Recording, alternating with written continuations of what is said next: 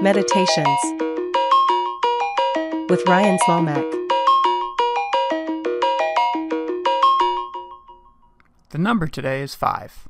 Five is the number. We're on episode five. What do you get when you do five episodes of a podcast where you just spend time talking with people? Well, you get really cool guests like today's guest. On today's episode, we have the one, the only Marc Silk. Marc Silk is a voice actor based in the UK. He is the voice of Bob the Builder in the US, or at least he was for about 10 years. He uh, has clucked in your life if you've ever watched the movie Chicken Run, where he played a bunch of various chickens. He was in uh, a little movie called Star Wars Episode 1, which was directed by some guy named George Lucas. I guess people are kind of into him. But today's conversation is a really fun one where Marc gets to talk about his family and his upbringing and his sort of history with audio recording technology, his dad's uh, just brief and interesting sweep with Hollywood, uh, and just the nature of the audio business and the way in which, if you put something you want into the world, uh, other people might notice it, and uh, eventually you might find yourself in the Netherlands, just like Marc did. So I hope you enjoyed today's episode. Without further ado, here is the one, the only Marc Silk. Cool. So, uh, Marc, thanks for uh, thanks for beaming in today. Where where are you located? Where are you coming from? I'm in beautiful downtown Birmingham, in the heart of the UK. Well, I'm actually in Solihull. It's about it's about a ten minute train ride outside of Birmingham. But yeah, if you look at a map of, of uh, the UK, put your finger right in the middle. That's pretty much where I am. It's a very ha- very handily accessible. Only ten minutes from the local airport. Well, I like the fact that we talked about this before, but uh, we're both centrally located. You're uh, in the center of the UK. I'm in Yeah. Syracuse, in the center of New York State. Uh, It's pr- very useful. it- it's useful in this kind of, you know, uh, we revolve around the sun, or you know, the rest of the state revolves around me, and the rest of the UK revolves around you. So it just This it keeps our true. egos nice and tiny. It's also very useful for things like traveling to London. It's about an hour and 10 minutes on the train. Uh, same with, you know, Manchester or Edinburgh is only a few hours away. The, the, and the local airport, when I go to beautiful downtown Syracuse International Airport, is only, it's only 10 minutes away from here. So it's, it's a really handy location. Come visit. You know you want to. You know it makes sense. And I'm sorry, what's the name of the airport? It's, it's Birmingham, International Airport, BHX. I think you said Syracuse International Airport, which is Well, no, it, the one in Syracuse is. oh, yeah. there is yes, because we fly to Canada. That's what makes us international, is we can go uh, three hours north. Um, so one thing I was really curious about is that, uh, and and please correct me if I'm wrong, but in sort of researching you and knowing you, um, is that Birmingham has always sort of been your mainstay. It's been where you've kind of grown up and and Yeah. uh, where you've chosen to reside. What is it about the nature of Birmingham that has made you want to just sort of stay there and call it home? I, well, for for starters, my, my family were always here, so um, I grew up literally 15 minutes away from where I am now. Uh, my my mom is still here, and I love being able to just get uh, get in an Uber over to mom's and, and say hi, and we're very close. My brother is is you know 10 minutes away. My uh, friends are here. It's also a fantastic location. It- It's it's it is so handy to be based here. There's so much going on in the city. We've got this inc- you know, incredible music scene, an incredible music scene, amazing food scene. It's just it's a creatively th- there's a, a a bunch of good stuff happening here. And then for traveling around for when I'm doing TV or film or game work, again, it's very easy to get down to London.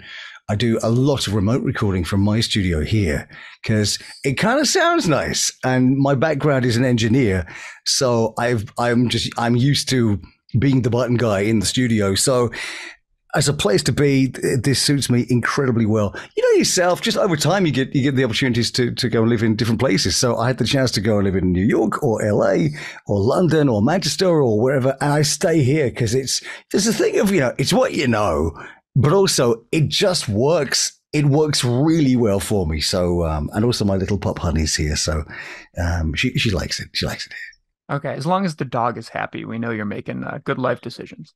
Gotta please the pup. So let's. Uh, so as a you know, as a kid growing up in the you know I, I, think it was the 70s is what they'd call it. Uh, you, you know, uh, your mom, your dad, your brother, what was like the sort of family dynamic life? Like what, what kind of personalities did your, uh, did your family sort of bring to that whole, you know, operation?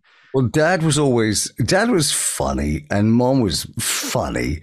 And my, my, my dad, my, my dad worked for British Gas. He was a, a manager for British Gas and, um, and always loved tech. He loved, he loved great sound. And I remember going to, to you know hi-fi shops with him, and, and he he would always be fascinated by you know games consoles or you know a brand new Technics turntable or Technics first digital power amp, and, and uh, so I I was you know influenced by Dad and.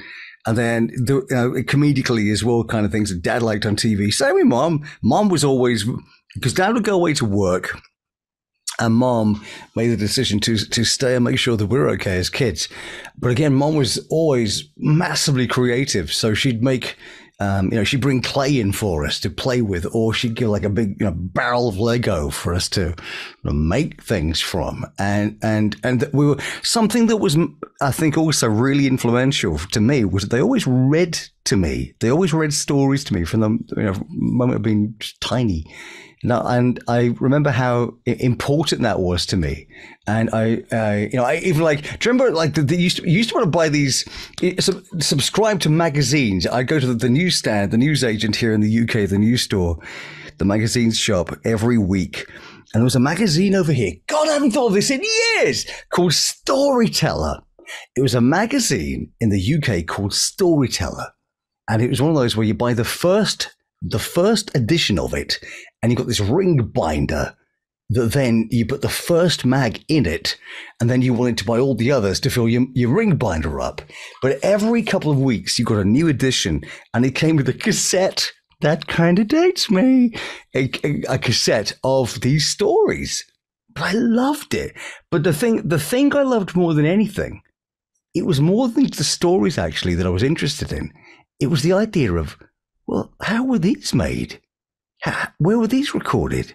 Because these aren't from because t- uh, these weren't from TV or radio or record. So who did who are these voices and there's the, you know on the credits at the back of the magazine it would, it would list a, recording studio or the engineer and all these little things went together in terms of stuff I was interested in. But anyway, so mom was always you know, very creative, making things and supported me what I did. Even down to, I remember I had this fascination with buttons, I, I, as, as in like electronic push buttons. So the first job I ever wanted to do was work in an elevator because I loved the idea of, of pushing buttons all day.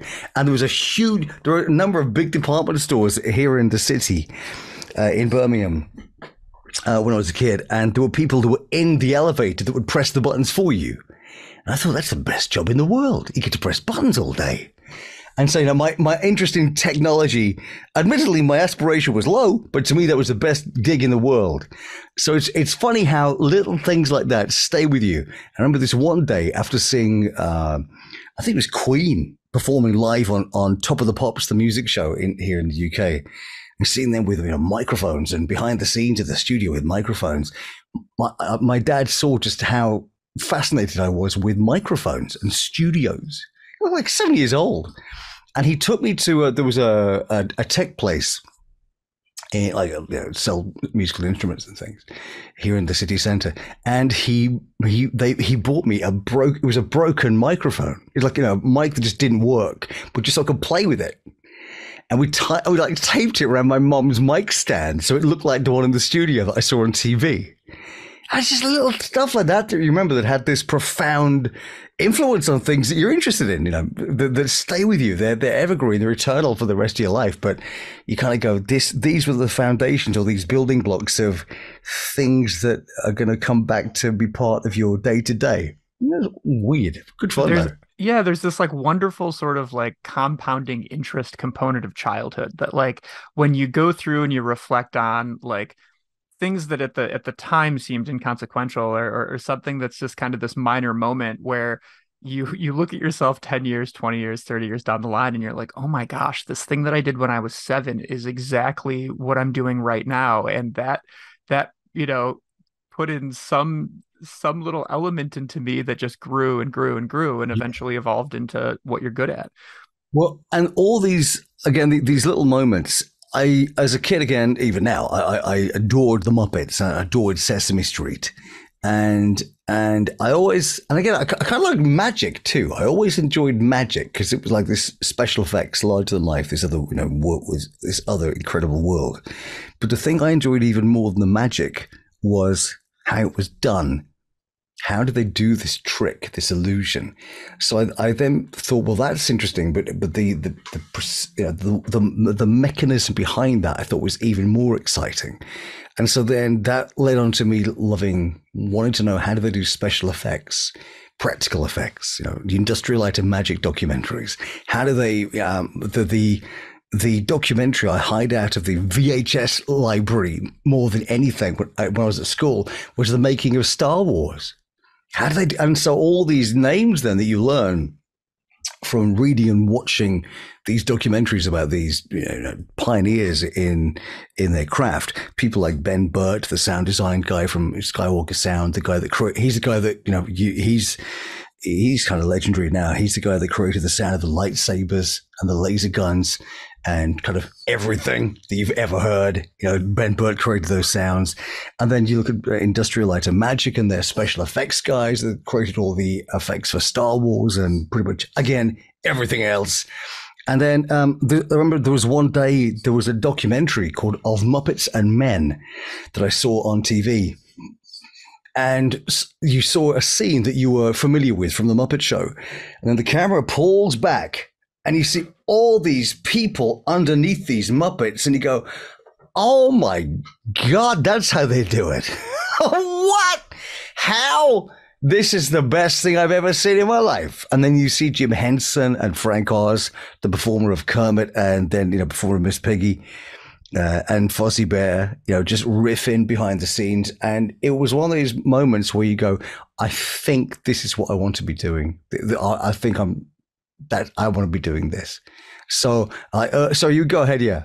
No, so I'm just I'm curious about uh you know before we move forward and sort of how how you became the Marc Silk. I'm curious about like uh, am I know, the Marc Silk? The Marc Silk. This is uh, very and you got I, okay. You, I got to like bring you around with me like day to day, just to remind other people of that fact. Yeah, I'm trying to rebrand myself as a hype man. So, you know, I'm starting with the Marc Silk and then eventually I'll, you know, find other clients and, and just do PR. It'll be great. Um, but one of the things I'm curious about is, you know, I've heard you talk about uh, the Of Muppets and Men documentary and the book, which I also have, which is phenomenal. Um, and, you know, you talk about kind of like watching that with your mom uh, mm. and you know, kind of catching those things. I'm curious about your brother because I've never heard about him. Like, is he somebody who also has this sort of passion for deconstructing? Um, you know, it's it seems like it resided with both your parents. Like, did that continue on with the other brother? Well, my brother still loves Star Wars, and he's he's still fascinated by that. My brother's thing growing up was more wrestling, so he was more. I was into like this stuff, and he was more into WWE and WWF. So um, yeah, our our we have like similar interests, but we're we're very different characters. But he um, he yeah he still has his his love and affection for Star Wars. When I was over at his uh, at his place uh, a little while ago, and all all across his wall are, are loads of I mean, uh, all these. I, I, when I do Comic Cons, I make sure that anyone that I can see that he would be interested in from Star Wars, I get them to sign something for him.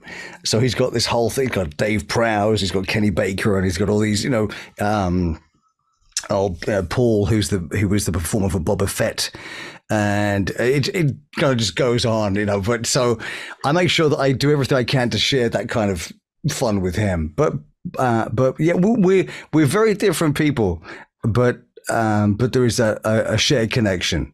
The other shared connection is that it's his pups um, that that uh, Honey is the offspring of. Because my brother has a tiny chihuahua. We had a tiny chihuahua, and he has a big beagle. And somehow one day the tiny chihuahua hired a, hired a trampoline and managed to uh, enjoy an evening with the beagle. I mean, the, it's like a pony-sized beagle. So we think it was either trampoline or scaffolding. but th- th- honestly, I, I'd wanted this dog. I'd wanted a dog for a long time, but it hadn't been the right time for me. And then it was only after traveling to New York more regularly that I saw the quality of life that you saw around, you know, Manhattan and lots of the dog runs and things around there, like in Union Square or Madison Square Park. And I, I went round to my brother's when I when I heard that his his two dogs had had pups. I went round for a test drive, and with these five beautiful little pups the size of your hand. And I picked up these two pups. There was a little black one and a little honey colored one. And I put them on my lap. And the black one carried on sleeping. And the honey colored one t- woke up, looked at me, went, licked my chin, back to my lap, fell asleep. And I thought, that's it. I have been chosen. So it's thanks to my brother that, um, that, that I have this amazing friend in my life, Honey the Cheagle, half Chihuahua, half Beagle and uh, and she's currently asleep. Every now and then you might hear her snoring because she is, uh, yeah, she's she's snoring snoring right now. But yeah, I, I was I can say of all the things I was expecting in this interview, the Honey the Pup origin story was not one of them. So that's wonderful. and I will also just chime in that uh, I would argue that uh, there probably is some uh, overlap between the uh, the Muppet Show and WWE. You know, I think there's I there's think just a lot of yeah, there's a lot of overlap between that. Here's another thing. Right? again, it's lovely when I can find a way of sharing what I get involved with with my brother. So here's an unusual one. A friend of mine introduced me to uh, a friend of his who is a world class um, anim- a stop motion animator. So my friend Tim, Tim Allen. He's animated for Frankenweenie and Weenie and Fantastic Mr. Fox and Corpse Bride and Isle of Dogs. And he worked, he was part of the team that won the Oscar for Pinocchio recently. So, yeah, so Tim's sister is a wrestler. A friend of theirs is a is someone called uh, called Georgia Smith. And anyway, we all got together, and we, we, I'm, I'm, we're all good friends now, and have been for years. So, uh, we, uh, and Georgia does bits of presenting, and you know, she's got she's in the states, and um, you know, she kind of knows people like you do. You just kind of happen to know people. This one Christmas, I got a message from her saying, "Oh, you know, Merry Christmas," and I just sent a message back saying, uh, "Hi from my kitchen," and she said, oh, "I'm in a friend's kitchen." And she shows me this picture of her in a friend's kitchen, standing next to her friend who happened to be The Rock. just in like a rock's there. Just Dwayne, Dwayne Johnson. Johnson hanging out. He's just there. Well, of course he is. Anyway, so um, her dad, Georgia Smith's dad, was a famous British wrestler called the British Bulldog. Uh, now, as far as I'm aware, you're going to there, there's a whole like resurgence of interest in what uh, in, in this you know legendary British wrestler wrestler. So I'm sure all the pop Popco figures will be coming out soon. Um, and then my, my the brother connection. Her uncle is Bret the Hitman Hart. right. By the way, if you're not a wrestling fan, I apologize for this bit of conversation. If you are, no apologies. It's kind of cool. So, Bret the Hitman Hart, a very famous wrestler in WWE, WWF um, lore, um, he came to the UK to do a, a talking tour. So I um, arranged for my brother to come and have dinner w- on the table with, with the family and Bret, meet Bret the Hitman Hart and all that stuff. So again, it's it's lovely the fact that you can kind of make those connections and make it a bit extra fun for the family. I love it, and I'm gonna I want to stay on your family for one more question, and I hope that this is this is acceptable to talk about. But uh, just your relationship with your dad, I find really interesting. He yeah. he was an amputee. Yes. Um, and you know worked for uh, worked for the gas company someone who's really interested in sort of deconstructing but he also had his own sort of hollywood moment he was the stand-in for charlton heston for uh, the 1990 treasure island is that correct you've done some amazing research here look at this I, I honestly, you get extra bonus points for this, right? Uh, yeah. So, Dad, I mean, again, it's funny as well how uh, I think your outlook on the world is shaped by, you know, how you your your day to day life as a as a kid. So to me, Dad was just Dad. I mean, he, he just happened to take his leg off, you know, his artificial leg off at night and put it up against the, you know, the the, the nightstand. Um. So yeah. So Dad was an amputee. So, so Dad had an artificial left um, limb from the knee downwards and you wouldn't even have known. You know, there were people uh, when Dad when Dad retired. when Dad it was his leaving do, um, and people found out about this special moment that that I'll tell you about. There were lots of people that didn't even know that he was disabled, you know, because he just he just wanted to have a regular life. He wore an artificial limb, limb with trousers and got on with his day. You know, it wasn't the thing he identified himself with until. Uh, this happened. So dad was really, he loved sport and he became part of the, um, he ended up being part, he played archery.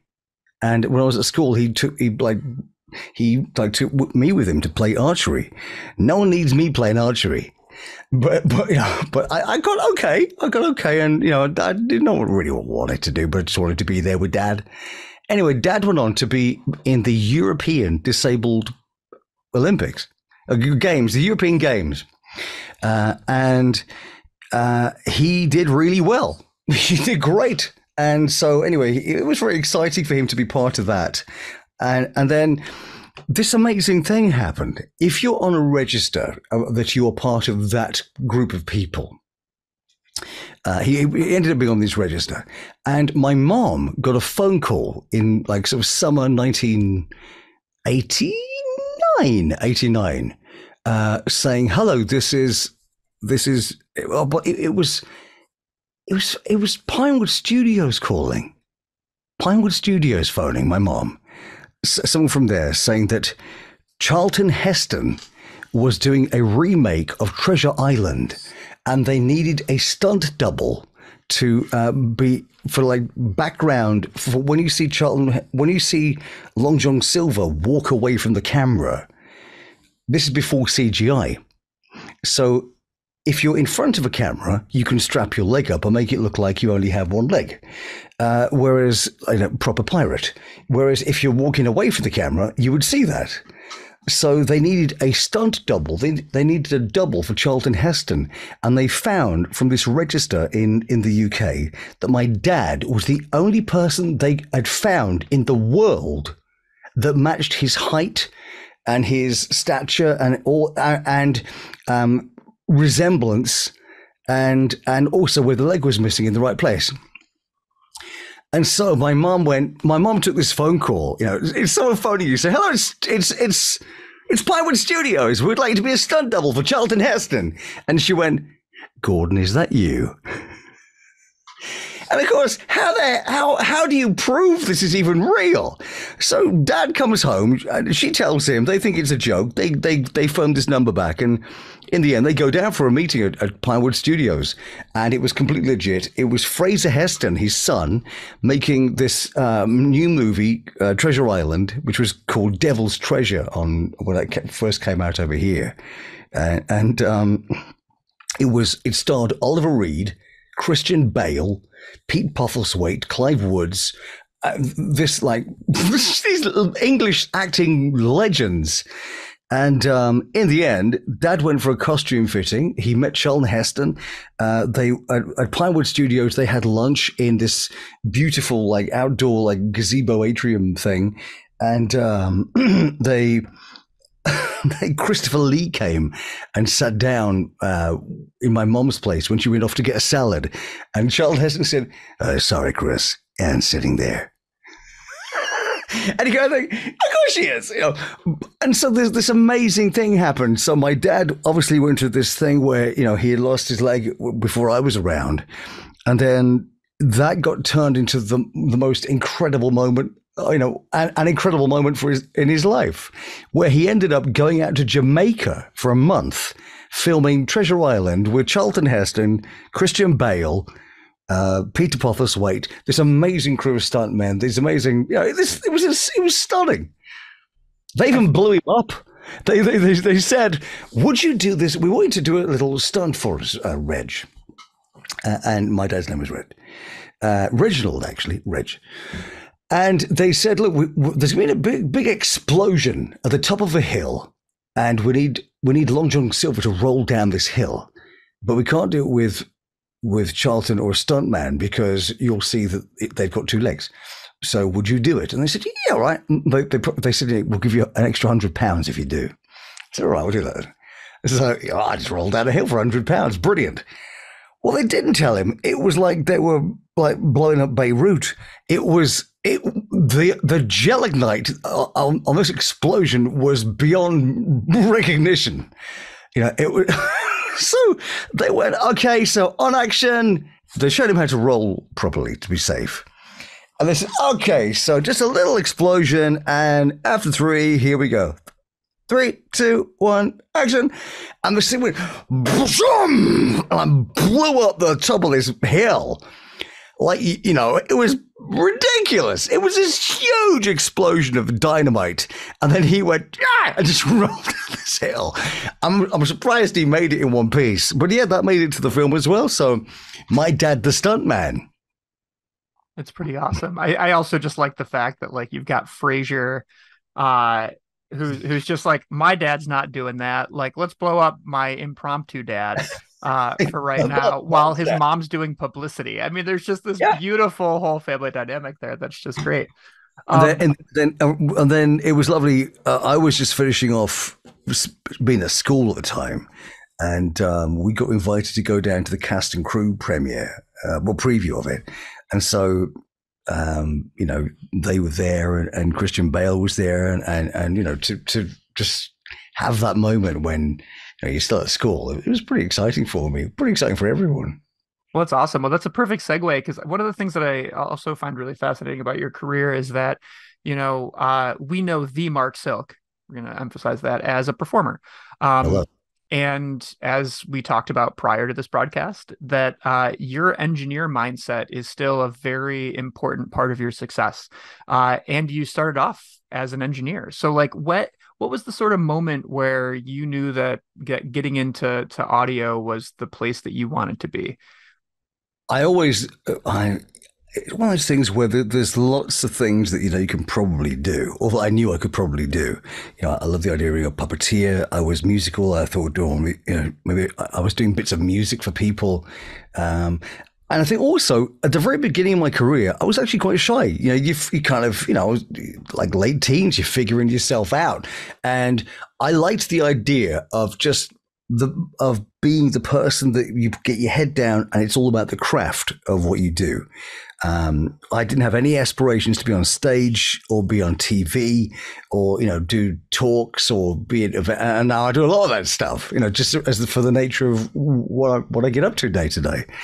But um, I think at the time I loved the idea of being the button guy. My heroes were people, you know, music producers, um, sound designers, the effects guys, foley artists, you know, voice actors, these people that are creating these moments, these, the, you know, the characters, musicians, music editing, all of this stuff fascinated me.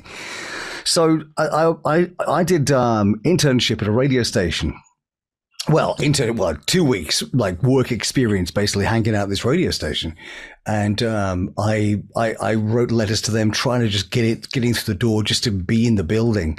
And I got turned down again and again and again and again. I still got the rejection letters. I still got them, and um, and eventually I just got back in touch saying, look, I will do anything. I'll come in any time of day, night, weekends, anything. I don't want any money. I just I'd just love to be there and learn and they let me in, and I ended up being um, I my experience basically my duties were filing vinyl records away in the record library. That was it. And then once I'd done that, once that was done, I would then go and watch people host radio shows, watch the DJs. And then the thing I loved more than anything was going in the commercial production studio and watching the engineers work and then the voice actors, the voiceovers would come in, and he'd watch them perform these scripts, and he'd go, "Oh my, it's that, it's it's her. That's what she looks like." Or it's that, it's that guy. That's the guy. That's, that's the things, you know. And you'd suddenly, you you'd see behind the scenes of how the whole thing operates. And so I look, really, my education was was was on the job was watching people who I thought were brilliant do their thing. And then when they'd gone, I would go back in the studio. This was back in the days we didn't have to book stuff. You know, once they'd gone, you could just like hang out. And so I would, I taught myself and tried to, uh, and learned to edit and learned how to use the effects racks and how to do all kinds of things that maybe they, even they weren't doing at the time. You know, I learned how to like, um, there was a sound I loved because at the time, just starting out, I, um, in the in the DJ's in the DJ's office, the presenter's office, there was a magazine by uh, there was a Radio and Records, a Billboard magazine, and a, and a thing by a guy called Dan O'Day. And Dan O'Day was based, I think he was based in LA, and he like gave show prep to DJs. So if you did a morning show, you'd get like all your morning show gags or this week in history or all you could get all these services from him. And I found this um I found this connection of this place we could buy air checks from. So basically I started like I'm, I'm still at school now, right? And I was buying um well I was buying recordings of New York radio and LA radio of like you know the best DJs, the big number one shows, and also tapes of the production that was being done there, so I could learn. That was my education. So I, I, I invested all my time and effort into this, and so then my influences were so they were really different to what anyone else was doing at the time over here. Because you know, if you're at school, most people I knew weren't buying you know cassettes of radio from New York. So um, so it went from um, it went from me watching people operate in a studio to I started doing music editing and make and creating commercials and promos and you know um, doing all kinds of jingle mixing and things for them. And then there was every now and then they get a um, a recording of the American voice guy they used as the imaging voice of the station, and his name was J.R. Nelson. And he, he also worked on my favorite New York station at the time, which was Z100. Uh, WHTZ, New York. From the top of the Empire State Building, this is Z100. All this stuff. And uh, so I got to play with these recordings of his voice and do all this stuff to it. And again, so I learned how to, um, you know, manipulate someone's voice and edit it with music and make it sound really cool. And then bit by bit, then I get there were other people around. I would just ask, can I record a bit of you and a bit of you, and I would chop it in. And then eventually there was no one around to to be a voice guy for me, so I taught myself.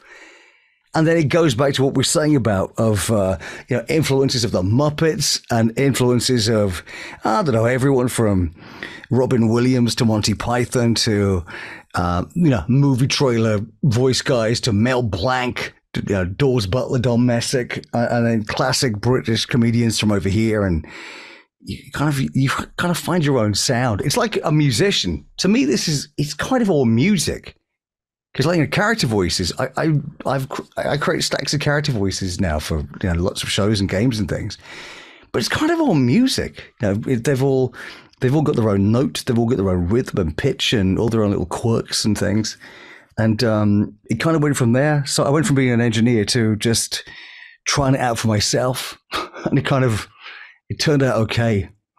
What was your uh, what was your first like voice acting gig that you didn't create for yourself? Like the first one where someone sought you out for something or Oh, you you trained wh- for it. Well, okay. Well, there were cut. It's like two parts. The very first one was there was a guy at the radio station I worked at, and they'd heard he. This guy went to work in Holland, and he took a tape of my work to Radio Netherlands.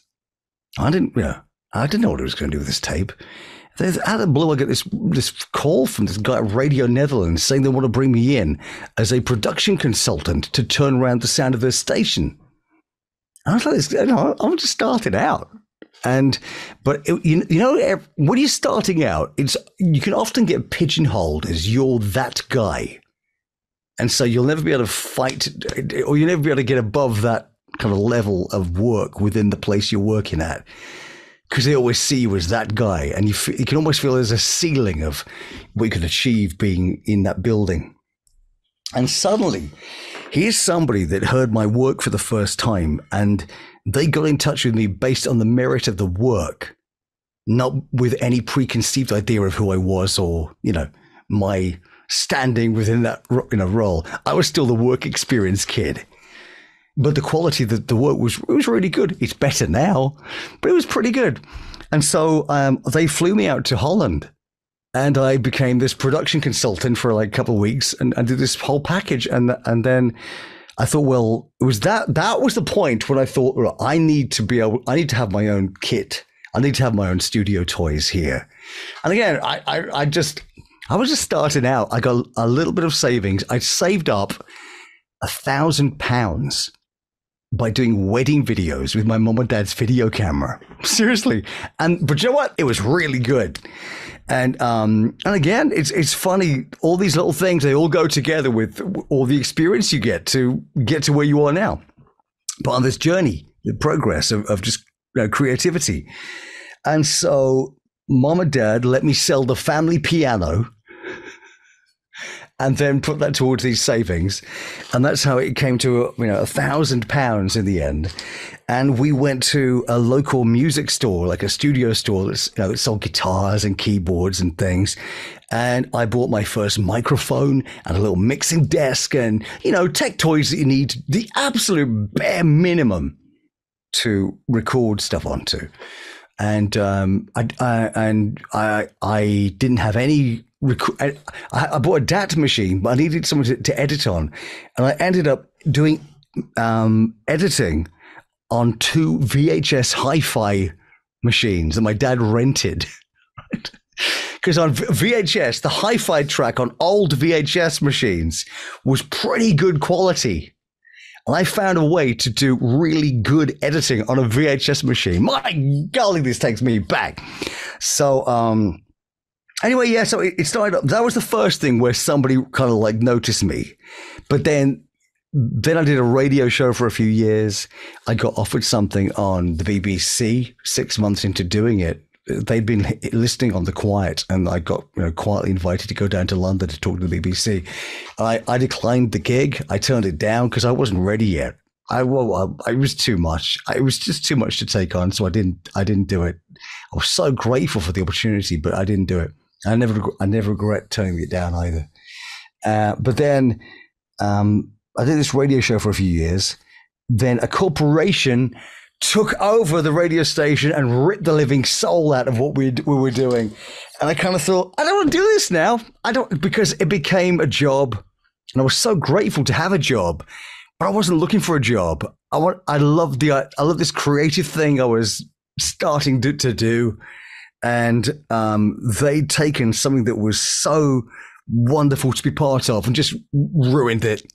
You know, they made it so clinical, and you were you were immensely, it, it, well, immediately dispensable. So it wasn't about being creative anymore. It was just about you know um, doing radio by numbers. So I thought I'm going to keep this for a year, then then leave. And then there was that that gave me a year to like nurture new work and contacts, that kind of stuff. And then think, what should I be doing? Really, what should I be doing? And um, I put this list together of dad was always really pragmatic about kind of like figuring out what you should be, you know, he was always good at making lists. And I wrote these two lists. And the, the first one was like everything I was good at, had some talent for. And clearly this was a huge list because I'm just so massively talented and then, and then and that was everything like musician, you know, puppeteer, writer, this that, that. and then I then I went back to the list and like I basically wiped everything off it and just it was a more honest list, the honest list of two things, and it was producer and performer, character voice performer. I'd got good at doing character voices. It was still early on, you know. I'm better now, but it was it was early days and and then I wrote this other list of if you could work with absolutely anyone, if you could work with anyone, who would it be? Realistically, reaching for the stars list, and it was Steven Spielberg, George Lucas, um, Lego, uh, Sega, Warner Brothers, Disney, you, know, Sony, you, know, you, you name them, all this, all this stuff. And and it was it was clearly completely unattainable, but it gave me an idea for a connection between what I had some skill with and the kind of world I should be applying that to. And, you know, out of being a producer or a voice actor, I thought, you know what, there's probably better producers than me right now. Engineers. Probably there's probably people that have read the instructions, you know. But I was doing something I thought that was pretty special with the, the character performance side of stuff. It was coming from a different place to what other people were doing at the time.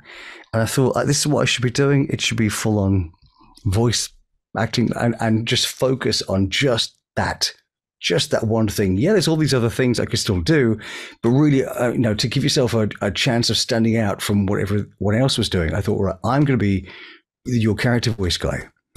And I put this um, show reel together. Oh, by the way, as a sidetrack, that list of all those people that I would love to have worked with, the one that was completely unrealistic, there's only one name. The only name I haven't worked with now on that list is Steven Spielberg. So, you know, still, still gives me something to shoot for. But uh, but yeah, and, and then I, I, put this show reel together of showcasing me performing character voices for animation, and most of it was just me copying my heroes, really. Because you know, when you start out, it's like like when you're a musician, you got you don't know who you are, you don't know what your voice is. All you have when you're starting out is what who you've been influenced by. So when you start out, whether you're an artist or a musician or you know voice actor, you can all you have are kind of your heroes, and you start off going doing your version of your heroes. Really, you start off, you know, if you're learning to play the keyboard, when I learned how to play the piano, I was like seven years old. I loved Billy Joel. Well, I don't, I don't, I don't compose stuff yet. I'm seven, so guess what? I'm playing tracks by Billy Joel. But then, same with voice acting. Eventually, you might start having a little playing, composing your own tunes. And that's what it's like with the character voice side of stuff. You know, it, it started off by me basically recreating work by my heroes as a way of learning. But then after a while, you, you kind of, you got all these other influences and you start to create your own character voices.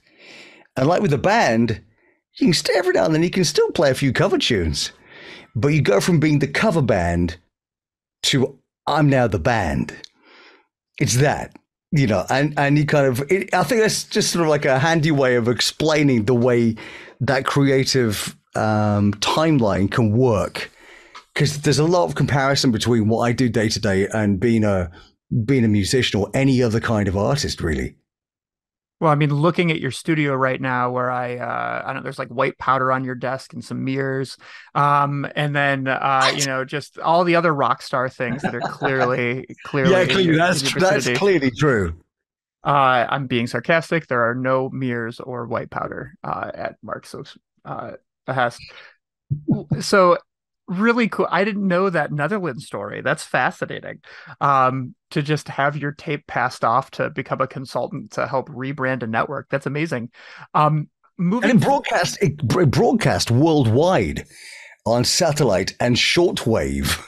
So you know, shortwave like it was awful quality, but you could hear what was being said, which and it kind of broadcast like around the planet, but you could hear it on on satellite as well, and it was um, that that first paycheck I got for Radio Netherlands, I spent the whole thing on more production equipment to help me work better.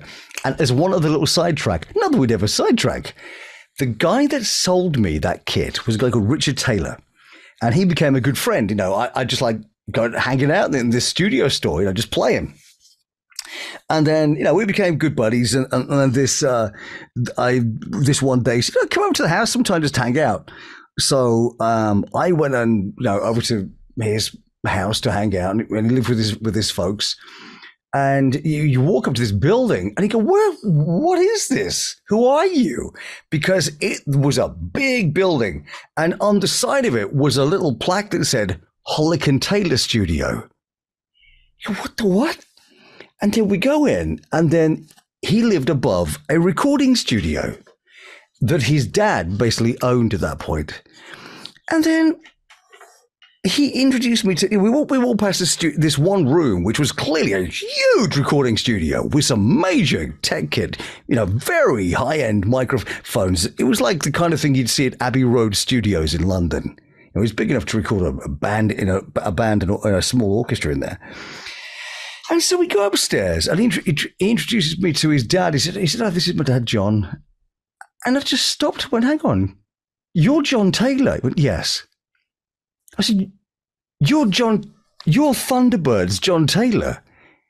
You're, I said, are you John Taylor that recorded all the sound design for Thunderbirds and Stingray and Captain and uh, Fireball XL5? You went, yes. And it was all done in that building. So one of my, my favorite TV shows growing up by Gerry Anderson.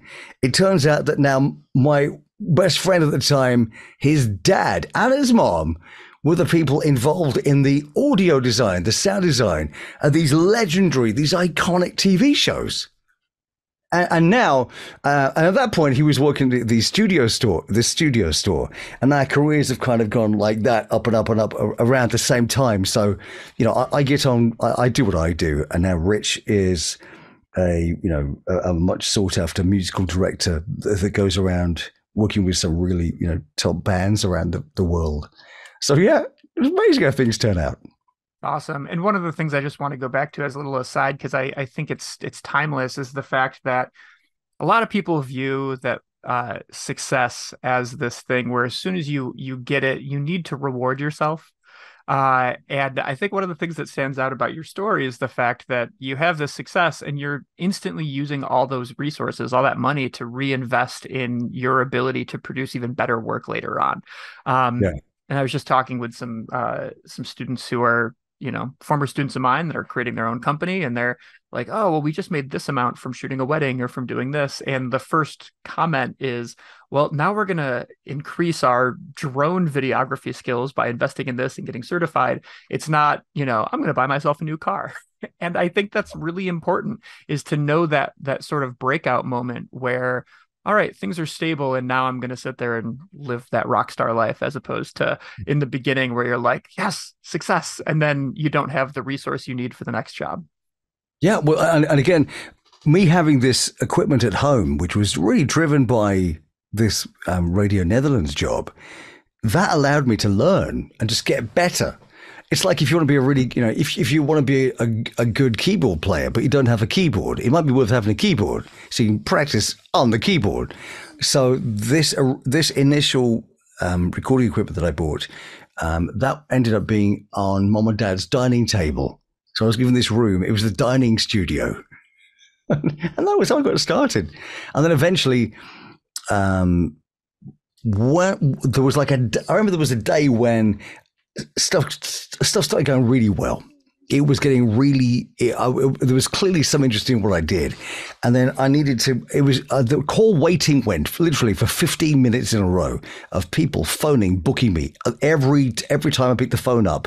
You'd be on the the phone with somebody, and then before that call had finished, somebody else was phoning to book me for a call.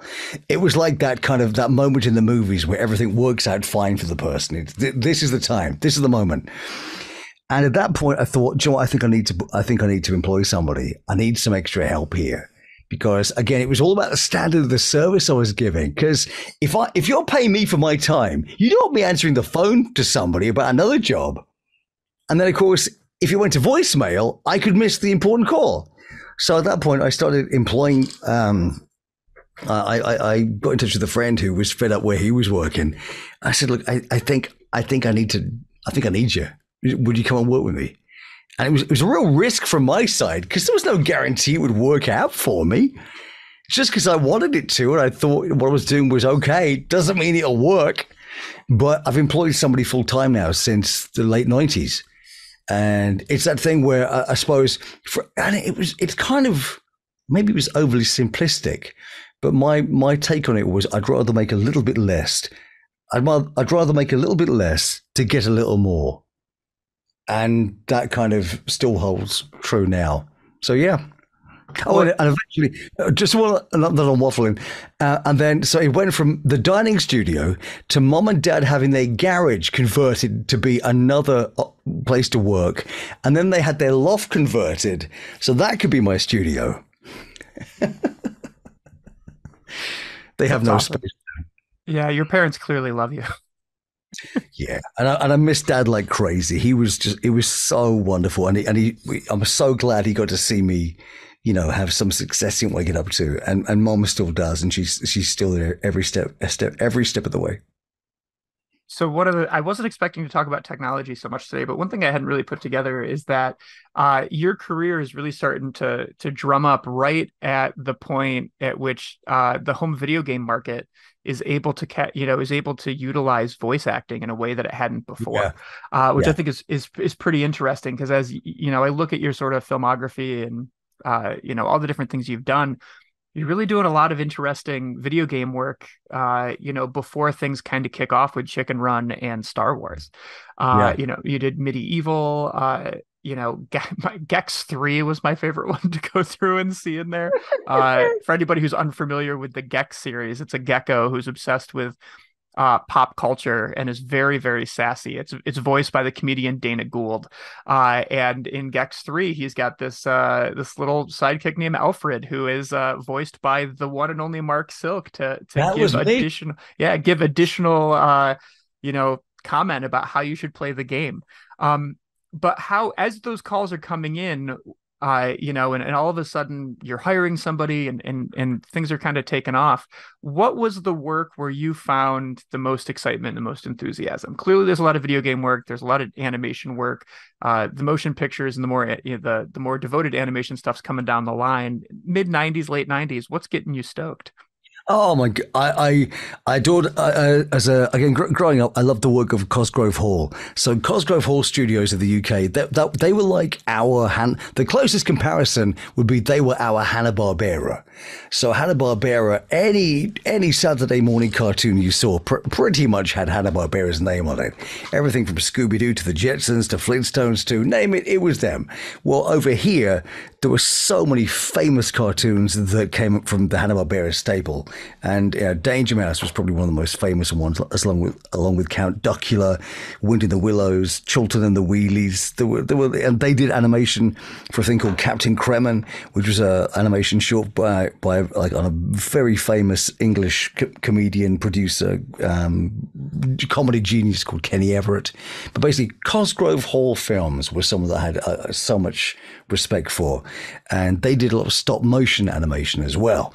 So my first break into animation was was with Cosgrove Hall Studios, really early on. To be working with, in my eyes, it was the best of the best. And this is before Aardman really went, you know, full uh, global success of the Chicken Run. So I got to work with them. So that that was very exciting to be part of that. And then uh, not long after that, there was there was you know I got a call for to to uh, audition for Tri- Chicken Run, so I find myself in, in, in, my studio in mom and dad's place going as you know like you do, and then long not long after that, it, I got uh, the casting call for Star Wars. So in terms of excitement, that was pretty good and to end up working with George Lucas at Abbey, Abbey Road Studios in the Penthouse Studio ended up being part of the Star Wars legacy. That was kind of exciting. You know, and then it kind of it kind of continued from there. Cartoon Network happened for me. Ended up becoming the voice of Johnny Bravo for the UK uh, and Europe, and then started. Then I I started getting brought in to perform Scooby Doo and Shaggy for the UK and Europe. So this, is like all this stuff that you spend time like dreaming about as a kid, or just, or at least being fascinated by. Um, I think that was that was more for me. It wasn't like I dreamt of being doing that. I was just fascinated with them doing it. I just thought they were brilliant and, and wanted to spend time in the like in the room watching them if you could. And and um, you know when you're doing what you do, you'll play around and people get to know you can do these things. It doesn't mean you're doing it for work, but they kind of know you could do it if it came to it. And um, I kind of got known that I it was known I would play around in studios in between takes, and I it got known that I could perform Scooby Doo pretty well. Um, and Shaggy and, and, a lot of others, pretty much anything that Mel Blanc or Daws or Don Messick did rather, or Daws Butler. I could do. I could perform. It's like it's it's just something you could do. I got a good ear and it, it worked out all right. But have outlet for it. It wasn't of any use at that time, but you could do it, you know. Um, and then Cartoon Network this one day, they they they got in touch with me saying, because um, I, I sent them a show reel, and they said, We've never heard of you. We have no need for you. We have to meet you. and I went down, and that was the beginning of, of me with Cartoon Network. And um, I didn't get any work from them for about a year.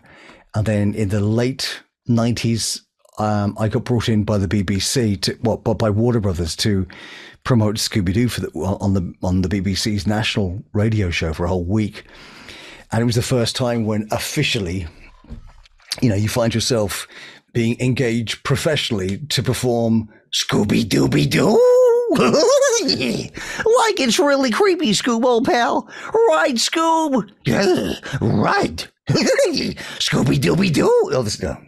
And it's, I found myself then performing more and more stuff for Cartoon Network and being brought in to be everything from Barney Rubble to Droopy and uh, the. Come on, Betty, let's go. To hello, you happy people. You know what? I'm happy. You know, I'm feeling kind of hyper.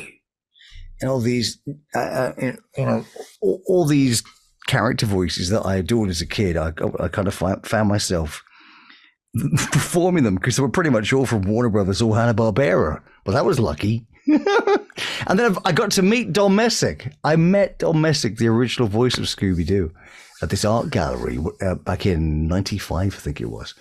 And over there on the wall, hidden away, hidden away there, is an original production cell from Scooby Doo that Don uh, hand signed for me. And uh, and again, it was one of those moments where he's a hero, and it was just lovely being able to chat with him about what he gets up to. You know, however your heroes are, it's sometimes it's just it's just nice to be in the room if all I'd have had is the chance just to hear him talk, do a talk, that would have been enough. But it was just, you know, it, it meant a lot to, to meet the guy. And, and um, yeah, the, the, those, those character voices kind of continued.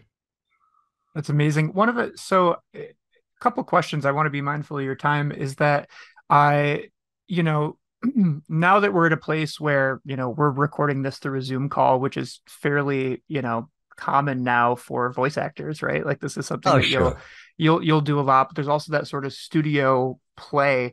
Um, I go to a very specific time, which is, uh, you know, you were the voice of Tey How and Aks Moe in Star Wars Episode One, if I yep. understand that correctly. Uh, and you have your glorious story about going in and being offered a potato chip or a crisp, as some might call it, from uh, one George Lucas.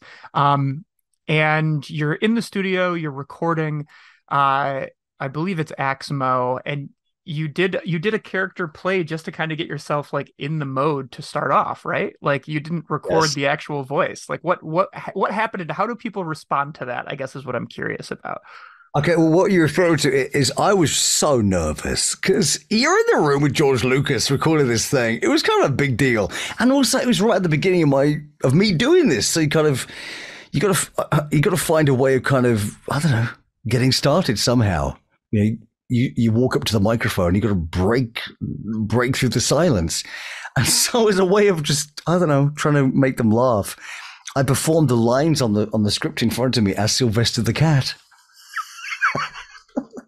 so I'm there going, full from Thuckatage, the Congress of Malastare concur with the Right Honorable Delegate for the Trade Federation. The commission must be appointed. You are despicable and a few of them laughed. Um, but then George Lucas said, uh, "Can we try it again, like as, as written, please?" and so I'm not sure whether that was the right thing to have done, but it may it, it kind of helped me get there. And what was like? What was the time like? I I'd heard you talk about the fact that it was it was an animatronic that you were voicing over. It had been filmed in front of a green screen, uh, mm. and it had just uh, sort of generic audio on on on hmm. top mm. of it, and you were matching to that. Um, how long were you in the studio that day, and and what were what were the goals within that sort of time period? I was well. I was in. For, I was in for a number of hours. I remember that there was there was quite a while where I sat while the previous performer was performing their stuff, and I didn't know who it was or their character was, and um, it turned out it was Ahmed Best uh, performing more lines for Jar Jar Binks, and um, I, you know, we didn't really get a chance to say hello or anything, but I've I met Ahmed just before the apocalypse, ju- just before the world shut down for COVID at a Comic Con in 2019. And it was so nice to meet him because he's just a really nice guy. Uh, and he has a Star Wars pinball machine. Look at that. So, uh, so we had a we had a number of common threads. So we were in the same building at the same time, and both have a pinball connection. So, um, yeah. What was the question? so tell me about like you're you're in the so it's one of those things where it's been 20 years 20 plus years and you're known as being the guy who did Aks Moe and I'm really curious about just the the procedures and the process of being able to, Oh, yes. to hit those moments. Yeah, well, so I, I was, I was probably there a- at least half a day. I went back again to record, to re-record some other character called Tey How, and it was one of those. where A great deal of the time was was actually just was me waiting while they were getting this stuff ready, and I'm glad I did because, you know, sometimes you just want to get on with it and go. I I was happy staying there all day because they had people they had these two guys from from Skywalker Sound sat on the mi- mixing desk recording the, the current performer that was Ahmed. There was Rick McCallum, he was their producer. Uh, Robin Gurland, the casting director, she was there, and George Lucas was in the room with him, and with and I was there with him as well. Um, you know when it was time to record my stuff. it was exciting. And then in terms of how you the procedure for how you go about recording this as well as backup, there was a little kind of waiting area within the penthouse studio area at, Abbey, Abbey Road Studios. And I was sat there, and there were two engineers from Abbey Road Studios just hanging around, just in case that they needed anything. You know, it was that professional. It was the, the support and the professionalism and and an approach to here is how you do it right. You know, yeah, it was a, a, it was such a. I learned a lot from just watching that, in in terms of just how they how they capture something and their approach to a recording session at Abbey Road Studios, and then. Uh, and and again, you were saying about the actual procedure of how I was recording. They did it a way that, if possible, I wouldn't have done it that way.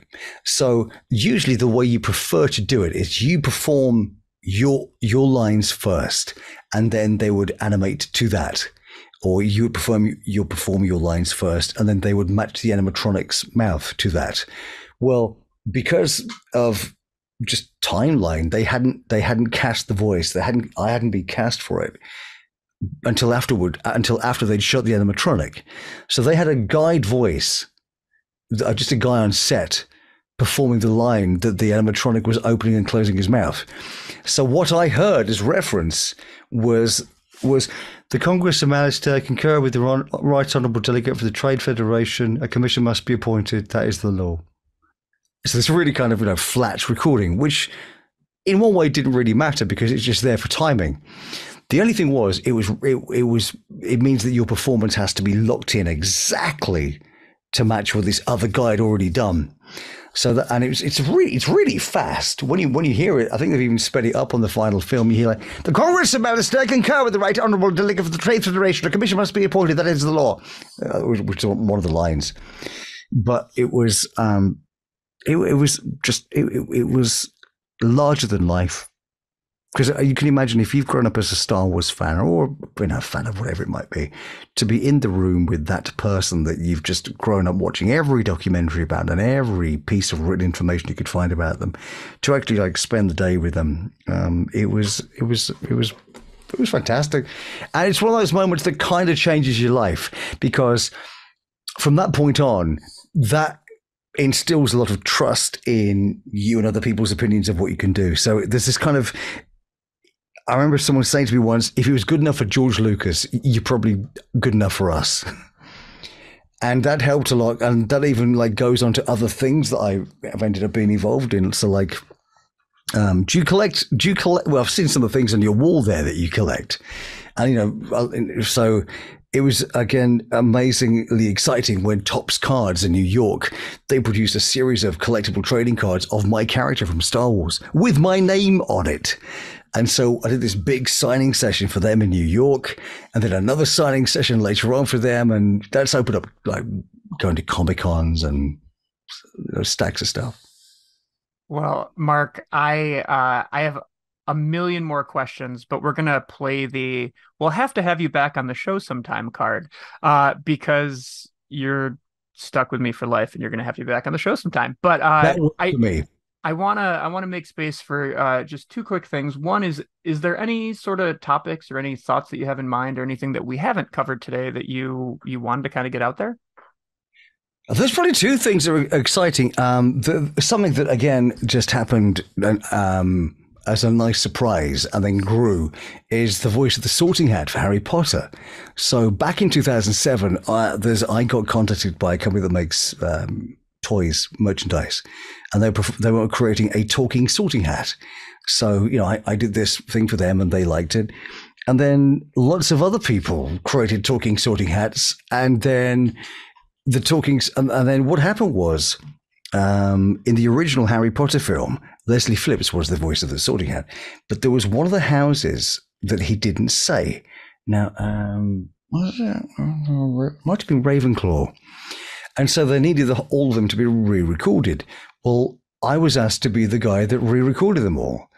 And so this thing has gone on and on and on. So now, if you go to Universal Studios in Hollywood or Orlando, it's and you get sorted by the sorting hat, it's me that you'll hear as the voice of the sorting hat. I went to the Warner Brothers studio tour in Burbank end of last year, and I was sorted by me as the voice of the sorting hat, and it's it's incredible because you know you've just you go through the you've just been on the the sets of Batman and you see the stairwell from the opening of Gremlins, and then you go around this tour and you see all the you know the the, the all the famous movie costumes, and then you go to this Harry Potter set, and suddenly you hear yourself blasting through their speakers, sorting people, and it's you are the voice of the sorting hat. And that was a lot of fun. And somehow someone figured out that it was me. I didn't tell them. And this person said, Excuse me, um, there's a whisper going around that you're the voice of the sorting hat. Is that true? And I denied it entirely as the voice of the sorting hat. Went, well, let's see. That seems very unlikely. That's the kind of thing someone would say in Slytherin, you know.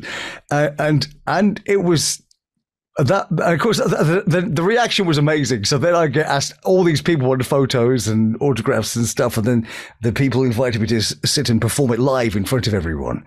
That was kind of fun. But yeah so that that keeps on growing. And this if you there's so much merchandise out there now. There's an amazing Hallmark collectible talking sorting hat. And again, it's my voice in it. There's a whole load of stuff. So if you have any kind of talking sorting hat, it's mo- more than likely that you're hearing me. Or if so you're uncertain about uh, where you should go in life, you should call Marc Silk so he can sort you into the proper place. I will sort you in my own or in whichever voice you prefer. I will learn how to how to uh, perform Ryan's voice and do that and have him on hotkeys. And the, the, the other one, in terms of is there anything else, um, um, a nice one to mention. It's really another Star Wars connection. So in October, uh, again, I'm a I'm a huge fan of of the work of John Williams. You know, it's he's kind of part of the hello, good girl, honey, we're okay, good girl. Uh, she's also a huge fan of John Williams, clearly.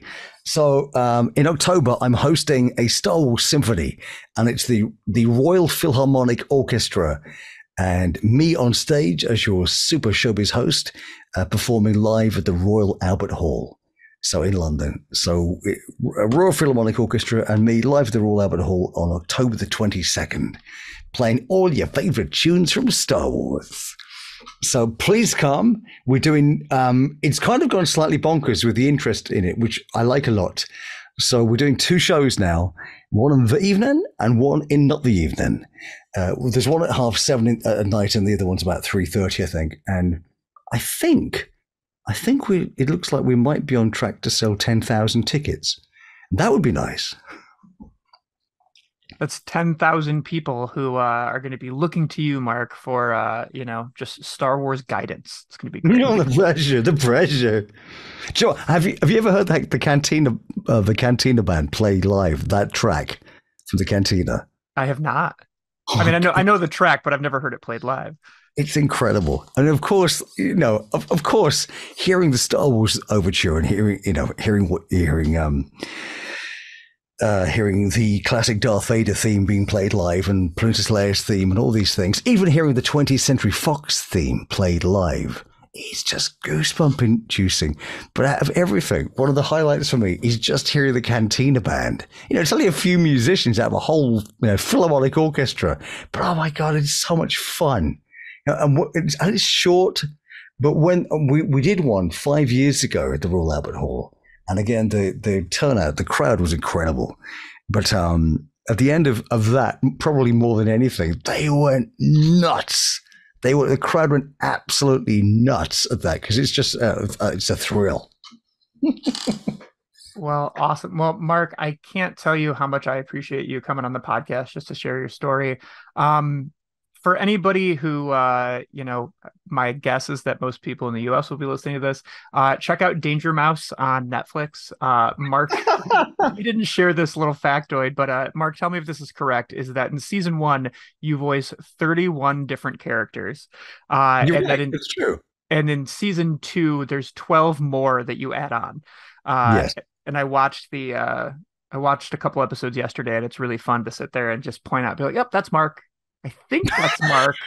You could, yeah. Is this your way of saying 31 characters that all sound really similar? No, no, no, not at all. I just, it's, uh, I had a moment. So in the first, in the first episode, there's a, a, a brief news broadcast where there's like a rhinoceros, right? Like who's, who's doing a news broadcast and it passed me over. And then I was like, wait, I had just had this moment where I was like, rewind, play.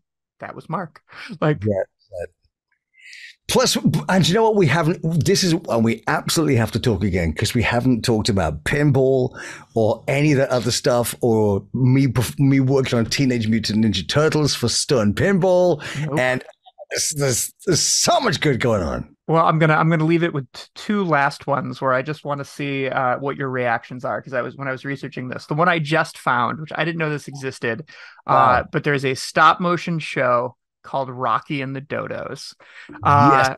Where uh, one of the things I was most excited about was uh, you were working in tandem with William Dufris, who uh, has gone on to do really successful audiobook narrations. It's like one of my favorite audiobook narrators, uh, but a really cool stop motion show, obviously geared toward, you know, uh, very very young children um, but just lots of antics it was such a fun thing to to find you as rocky that was well. That was the first show I worked on.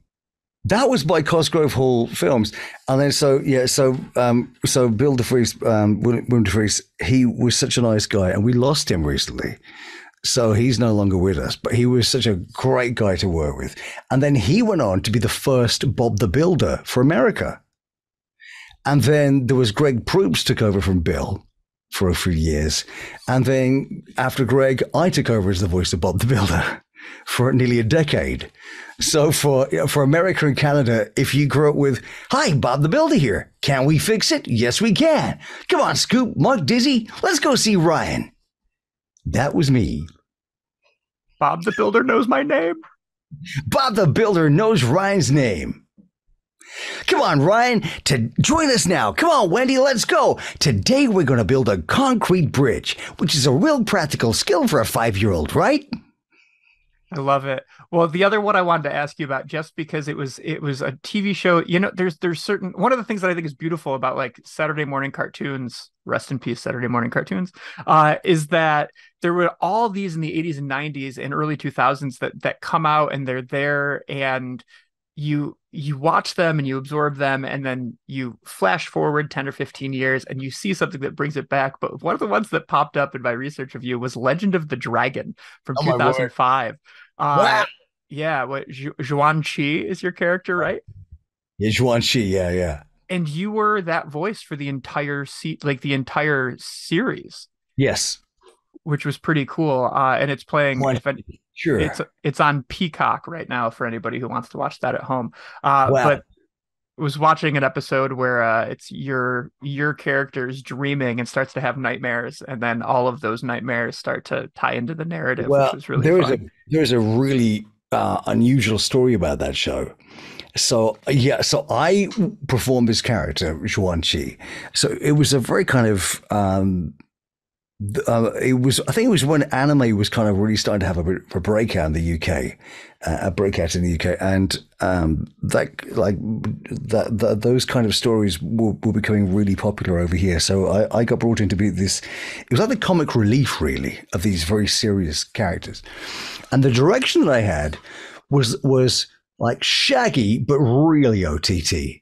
So like it was really crazy. Like this, so the guy was he's basically like um like half man, half monkey was I think was the character.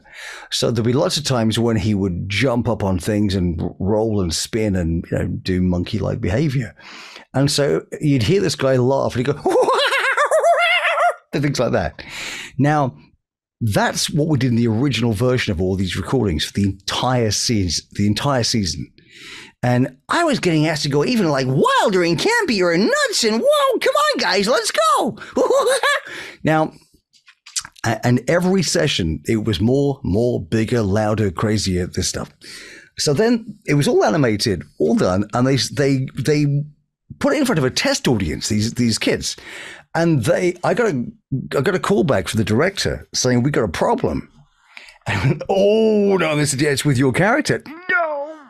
And I said, yeah, um, we showed this, this test audience and they really like it. I said, oh, doesn't sound like much of a problem to me. And he said, yeah, in fact, they they like it so much they don't really like the other characters as much. They're just kind of like waiting for your character to come back on again. It was almost it was distracting from what you're meant to be enjoying because it was so over the top. So what they said was they're going to have to recast the character, but they'd like to give me a chance of re-auditioning for my own character. So, I, so now bear in mind that the direction before was like bonkers, crazy, in your face, loud monkey boy. The new director was the, the new direction was Matt Damon. Matt Damon. And so I had to bear in mind it's already animated to what I'd done and you got movements of this character jumping around all over the place, going. And so I'm gonna find a new way of like making it like a really regular guy. Come on, guys, let's go. Okay, fine, Sh- sure, you stay there. And finding a way of making these really extreme jumps make sense with Matt Damon as a reference. And so somehow we did it. But I ended up getting contracted to re record the entire season again with my own voice track, having to match my own voice track for timing. It was incredible. There's something about somebody being like, all right, we want Good Will Hunting doing gymnastics as a direction that seems a little confusing. I'd watch that film. Dear AI. no, let's not do that. No, please do not do that um, awesome. Well, Marc, uh, thank you so much. Uh, audience at home, uh, thanks for listening. Uh, I'll have a little outro thank you, second, audience. But um, if you're uh, anywhere near London or thinking about a vacation, October t- Sunday, October 22nd at the Royal Albert Hall, John Williams, music from Star Wars with our host, the Marc Silk. You are uh, so good at this. And then additionally, uh, if you're, you know, like me and you have to work that weekend, uh, I would strongly encourage you to uh, go through and look at Marc's filmography because there's a bunch of things that I will I will put money on it. You'll discover that Marc has voiced that you didn't know was put together by the Marc Silk. I thought you were going to say if you're busy that time, but and you're working, we recommend you quit your job. Try that. I, I will. Uh, I'll have to talk to to the legal department of the Meditations for Ryan Zlomek pod, with Meditations with Ryan Zlomek podcast before I make any now. sort of things like that. You know, very calming voice. Awesome. Well, Marc, thanks again. I truly appreciate it. Oh, thanks, Ryan. It's been really nice chatting. I've really enjoyed it. All right, everybody, you heard it here first. That's the Sorting Hat, and that's his origin story. It was quite nice that the Sorting Hat, uh, you know, didn't send me to purgatory. I'd say that's quite quite a win. Uh, but in all sincerity, it was an absolute joy talking with Marc. I hope you enjoyed hearing his story, hearing about uh, his experiences, and uh, understanding just the way in which sometimes things just fall into the glorious land of serendipity and you find your way into a career path doing something that you really love. Every time I talk to him, I just find it really inspiring and it, it gives me hope that there's more exciting and interesting things out there that I have yet to explore. Speaking of, one of the things that I jumped into this year, and as you quite well know, is podcasting, which means that episode six coming up on October 11th it's probably time for a good meta episode, an episode where we talk about podcasting. I'm going to be joined with not one but two guests. One is going to be Matt Harmon, who is the uh, one of the hosts of Drunkard's Walk, which is a Wikipedia podcast. Fascinating, really cool show with a mix of uh, intellectualism and comedy. Also, we're going to have Mariana Ruiz from Impact Driven Entrepreneur, uh, who tied that in with her business and went over 300 episodes, and I think may have a few other things stirring. So, if you like what you hear, please tune in on October 11th for our next episode. Equally, come find me online. If you want to see what antics I'm getting up to outside of the studio, you can find me on Facebook and Instagram, The World of Ryan Zlomek, which is at Syracuse Pinheads. Also, you can just leave a review, follow, like, subscribe and do all the other things that you know just brings joy to a podcaster's heart. Thanks for tuning in. I hope you learned something, and I hope you make space for conversation this week because you might learn something else. Have a great day.